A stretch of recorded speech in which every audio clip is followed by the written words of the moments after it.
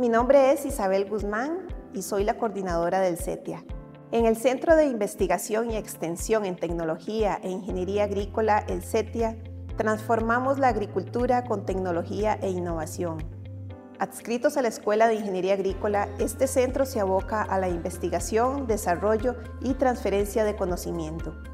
Trabajamos en áreas como el manejo de conservación de suelos, mecanización y automatización, agricultura de precisión y digital, así como riesgos de inundación fluvial, drenaje agrícola y urbano, sistemas de riego, manejo de información, modelado, simulación de escenarios y comercialización de productos agrícolas. Nuestro objetivo es claro, contribuir a nivel nacional y regional al desarrollo de sistemas de producción agrícola y al manejo de recursos como el agua y el suelo para que sean aprovechados de forma eficiente y sostenible.